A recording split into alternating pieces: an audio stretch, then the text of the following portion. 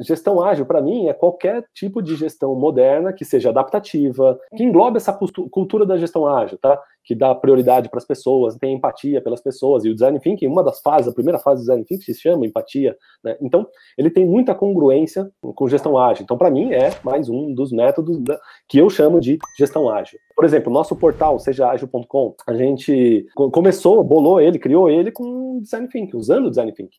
Né? Então, a gente Sim. primeiro entendeu o perfil dos usuários, quem eram as pessoas, quais eram as, os possíveis assinantes, né? Quem eram as pessoas, quais eram as necessidades, quais eram os problemas que as pessoas tinham. A gente fez realmente essa parte da empatia, né, de se colocar no lugar das pessoas, entender o que seria o conteúdo, e aí a gente foi para a parte da definição, né, olhando tudo aquilo, a gente definiu como seria, ou o que seria, que problema que a gente poderia resolver dessas pessoas, partiu para uma sessão de ideação, onde a gente usou algumas técnicas de ideação, né, geramos um monte de ideias do que poderia ter naquele, no portal, né, de serviços, de aulas, de tudo que poderia ter, é, uhum. prototipamos aquilo, testamos e aí colocamos no mercado e, e foi, é, e entrou na esteira de, de execução é, ágil mesmo, né, com o Scrum Kanban, onde a gente tem melhoria contínua, incrementa e vai incrementando cada vez mais. Ou seja, né, a gente usou Design Thinking conectado com o Scrum Kanban. Tudo isso era um objetivo do, dos, dos nossos OKRs, né? Então, assim, era um OKR que a gente tinha lá, de criar uma nova linha de negócio, tal, com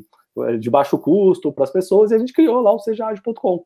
Então, assim, era um OKR que a gente usou Design Thinking, executou, bolou a ideia né, com Design Thinking, executou com o Scrum Kanban. Então, usamos tudo aí que a gente fala de gestão ágil, e você quer ver na prática, entra lá, sejaagil.com. Você vai ver que o negócio está pronto, tá pronto. mais de 1.500 assinantes e bombando, assim.